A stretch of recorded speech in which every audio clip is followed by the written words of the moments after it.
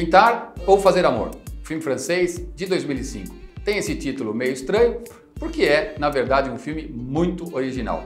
Eu gosto muito desse filme.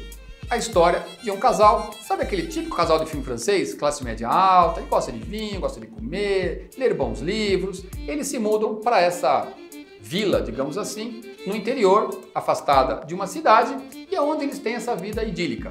Você acha que já viu esse filme várias vezes. Realmente tem vários filmes franceses com esse plot.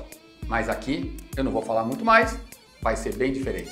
As situações são muito originais, o desenvolvimento é muito bom, é um excelente roteiro. Além disso, o filme tem um elenco formidável. Começa pelo Daniel Otelo, que interpreta o personagem principal, que é um dos grandes atores do mundo, com certeza um ator marcante. E o que eu acho extraordinário nele é porque sempre que ele está num filme, você acha que ele é daquele jeito.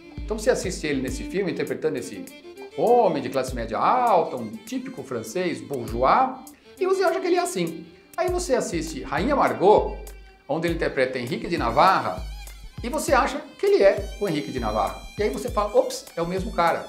Tem essa capacidade de parecer o personagem. Ele some.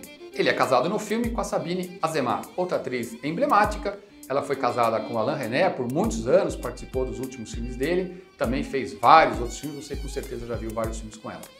Tem um segundo casal importante na história, que é formado por dois atores um pouco mais jovens, o Sergi Lopez, que é um ator espanhol, mas que tem uma carreira muito maior na França, e a Amira Casar, que é uma atriz inglesa, mas que também faz muitos filmes na França, tem um rosto muito marcante, você também vai reconhecer. De novo, não vou contar muito da história, posso te dizer que eu gostei bastante. É um roteiro muito original, você vai dar umas risadas, algumas delas meio nervosas, mas vale a pena.